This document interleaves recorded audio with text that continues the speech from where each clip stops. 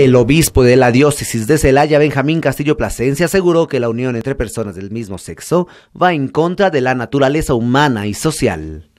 Explicó que no está de acuerdo con la aprobación de este tipo de uniones, ya que aseguró los homosexuales no podrían constituir una familia. Y, no es lo mismo un hombre que una mujer en una pareja. Entonces, no es lo mismo. No nos hagamos, eso no puede ser matrimonio. Y legislar en forma de, como lo dicen, es abrir las puertas a otras muchas cosas. Enseguida la adopción, de todo eso.